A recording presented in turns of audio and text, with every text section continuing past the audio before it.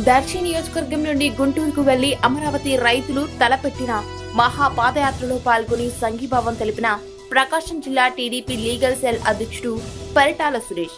ఈ సందర్భంగా సురేష్ మాట్లాడుతూ అమరావతి నిర్మాణాలు జరిగితేనే పరిశ్రమలు విద్య ఉపాధి ఉంటుందని ఈ రాష్ట్ర భవిష్యత్ అమరావతిపై ఆధారపడి ఉందని ప్రభుత్వం ఇప్పటికైనా చిత్తశుద్ధితో అమరావతి నిర్మాణం చేపట్టారన్నారు.